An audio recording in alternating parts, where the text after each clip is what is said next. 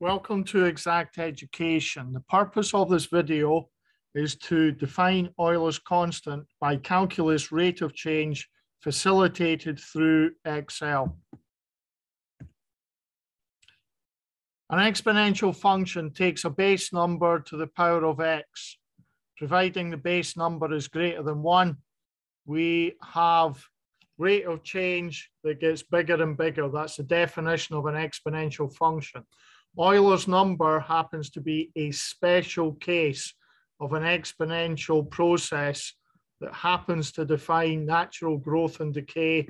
For example, radioactivity, for example, voltage across a capacitor in a charge or discharge circuit.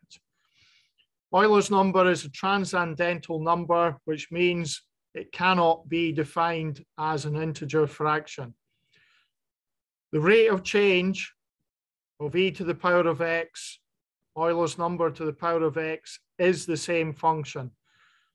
And we are going to prove that through numerical calculus.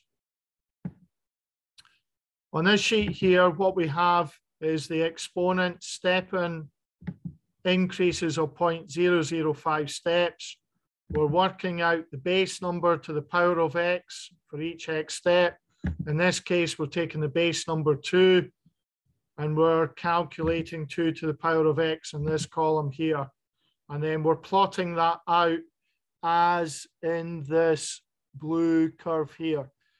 We're also numerically calculating the rate of change of this function. How are we doing that? We're doing that by tiny straight lines.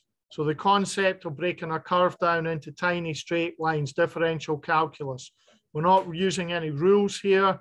We're actually doing it by tiny straight lines. We're taking, for each step change in horizontal, we're taking the change, the delta change in y divided by the delta change in x, and we're working out the linear slope gradient for that change. And we're working out the rate change of that function in that way. So if we then take those three columns and we plot them out, what we can see here is we've got the rate of, we've got Euler's 2 to the power, sorry, not Euler's, we've got 2 to the power of x function, which is a nonlinear function, this curve function in blue.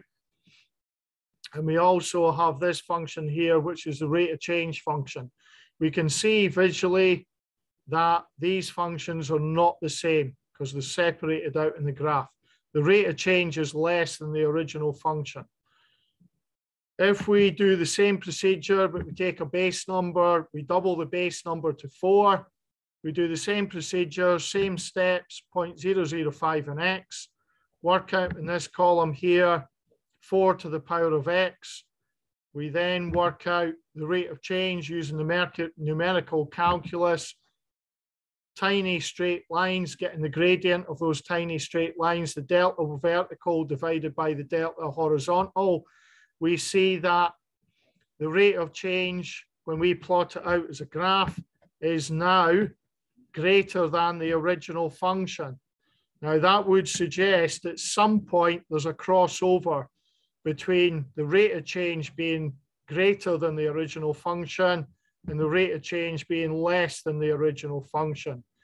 And lo and behold, if we change that base number to 2.71828, we work out the e to the power of x, 2.71828 to the power of x. We work out the rate of change using numerical calculus again, and we plot the graph of rate of change against the original function. Lo and behold, they now overlap. If we actually want to look at the numbers and compare them, they are within reason, within three or four decimal points the same.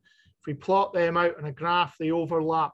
So what that does is it proves by numerical calculus that the rate of change of e to the power of x is the same function, e to the power of x. And we have proved that via numerical calculus.